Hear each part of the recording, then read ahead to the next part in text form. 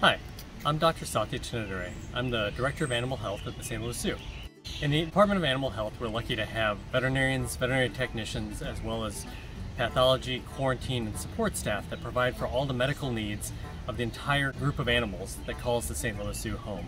And together with our veterinary staff, nutrition, endocrinology, and especially the animal care team at the River's Edge, we've been monitoring our 23-year-old Asian elephant, Rani, throughout her long pregnancy. One of the most important parts of pregnancy monitoring in elephants, as well as with people and other animals, is ultrasound monitoring, or performing a sonogram.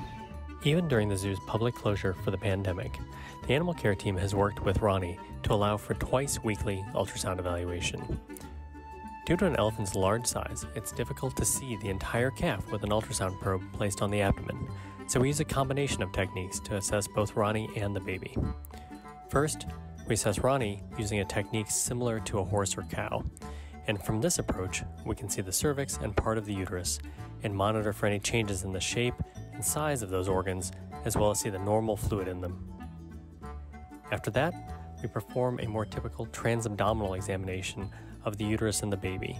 We're looking for any changes in the placenta and uterine fluid and checking for the baby's size, movement, and position. On our most recent exam, the baby is moving around quite a bit, we can see fetal movement on Rani's abdomen, and on ultrasound, we see the baby is active and kicking. Using training sessions, we'll continue to monitor Rani throughout the rest of her pregnancy. We want to make sure that up until the day of delivery that she is doing well and the baby are doing well.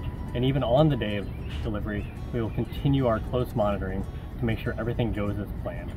We can't wait to see our new baby elephant calf, we can't wait to welcome you back to the St. Louis.